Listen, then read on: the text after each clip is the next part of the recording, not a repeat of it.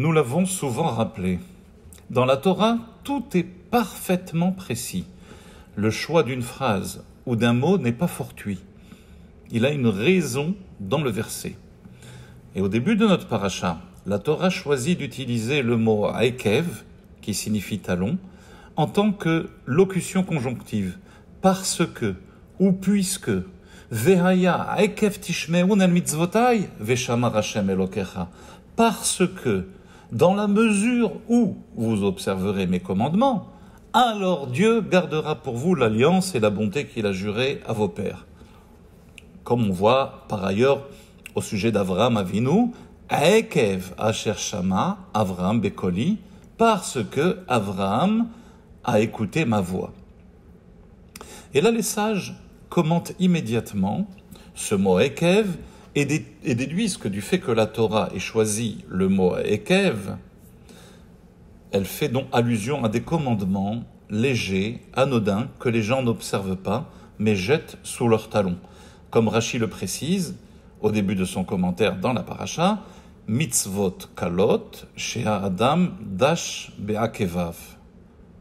C'est-à-dire que la Torah nous avertit ici qu'il faut s'appliquer à observer aussi les mitzvot qui paraissent légères.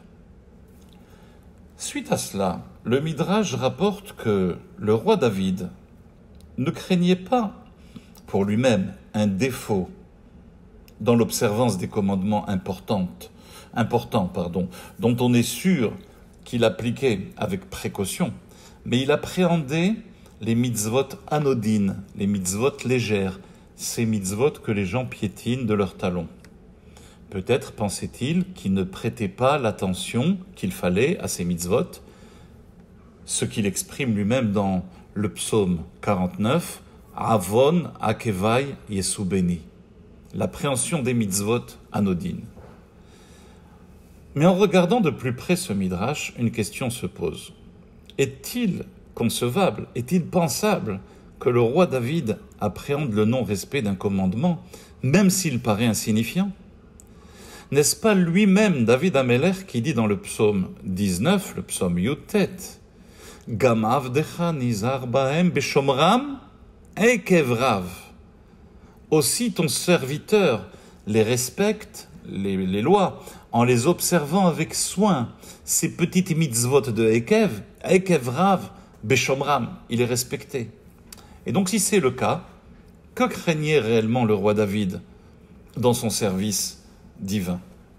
Il faut donc conclure qu'il ne s'agit pas, dans le midrash de la crainte, du non-respect ou du mépris pour certains commandements que Adam Dash Kevav, dont David voulait se protéger. L'intention de David Ameller fut la crainte d'être amené à classifier les mitzvot, à les répartir selon un ordre d'importance, de dire que telle ou telle mitzvah est plus importante qu'une autre c'est ce dont la Torah nous met en garde tout de suite au début de notre paracha. Un juif peut observer toute la Torah, toutes les mitzvot avec application, tout en ressentant une différence entre une mitzvah et une autre.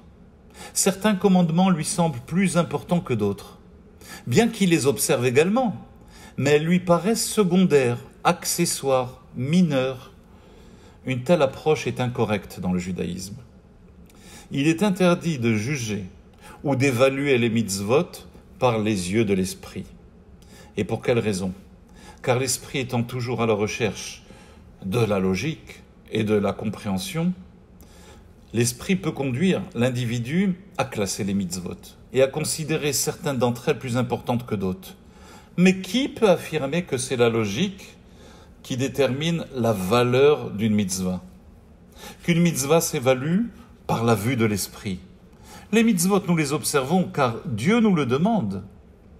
Et Dieu, lui, peut sonder le secret et la profondeur de, ce qu'il demande à, à l'homme et ce que l'homme ressent. Mais aucun homme ne peut sonder le secret de la divinité et la profondeur pour déterminer l'intention de la volonté de Dieu, de classifier sa volonté. Chaque mitzvah fait partie de la volonté suprême et infinie de Dieu. Et pour, Dieu, toutes les mitzvot sont importantes, car elles font toutes partie de sa volonté qui est indivisible.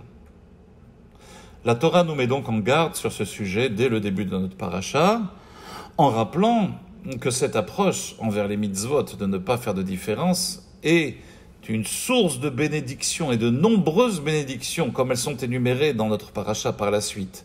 Et.